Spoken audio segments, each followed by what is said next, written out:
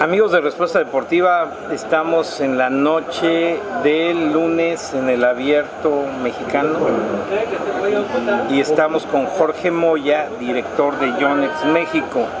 Oye, ¿cómo, ¿cómo va el desplazamiento de la marca en los últimos meses en México?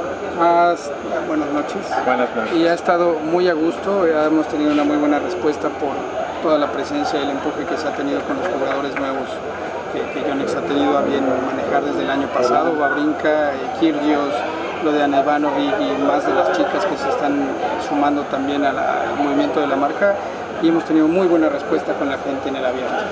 Estas raquetas eh, me comentan que son muy finas las jugadoras. Sí, es la única marca en el mundo que fabrica una raqueta fuera de China. Está hecha en Japón, la está hecha en Japón y la línea económica está hecha en China como el resto de las marcas. Suena un poco despectivo, pero los chinos fabrican lo que uno pide en calidad, pero sí hay una diferencia muy grande ya fabricar en un país de primer mundo con tecnología de punta como lo tienen los japoneses a fabricarla en China. Y eso es lo que ofrecemos en cuestión de calidad, que es muy alto. ¿no? ¿Por qué se van a China? ¿Por precio? Por precio, exactamente, es por precio y obviamente mayor volumen de desplazamiento, de, de producción y eso lo hace... ¿Por qué los chinos fabrican todo lo de tenis? por, por, el grafito, la maquinaria, por todo lo que tienen a la mano en el área donde están, tienen una mayor concentración de todo lo que necesitan para ese tipo de producciones.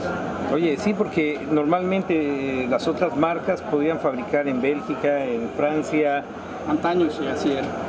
Y era más caro hacerlo. En Austria también tenía. Y Austria. Y Austria. Y entonces esto, esto es porque la mano de obra local es muy cara. Sí, ya eh, recordemos desde que Estados Unidos empieza a manejar ellos mismos empiezan a quitar la mano de obra de su país y la empiezan a mandar a países como Bangladesh, Bangkok, Tailandia y luego China, empiezan a, terminan en China obviamente por la capacidad instalada que tiene el país y la respuesta de producción que tiene, que es grandísima por la mano de obra tan barata. ¿no? Aquí estamos viendo a Ana Ivanovic. Ivanovich. Es una modelo tenista y se va a Monterrey. Ahí vamos para allá también la próxima semana. ¿Vas a ir a Monterrey? Ahí vamos a estar contigo. Ah, míralo. Sí, y me invitas, ahí vamos a estar contigo. Míralo. Vamos a ver, Más bien al que, al que, le voy a pedir que me deje acercarme a Ana Ivanovich va a ser a ti. ojalá, ojalá que esté todo como deba de estar para estar en línea con lo que vamos a hacer con ellos. Bueno, pues cada año hacemos su entrevista a Jorge Moya, director de Yonex México. Estamos un poquito así porque pues ya, ya es noche, ya estamos, ya estamos ya estamos cansados, pero este fue un día muy excitante, muchas situaciones que se van dando en el y buenas y malas, pero bueno, es Acapulco, tenemos vida, hay que disfrutarla. Y bueno, amigos de Yonex, Ana Ivanovich en Monterrey. Gracias, buenas noches.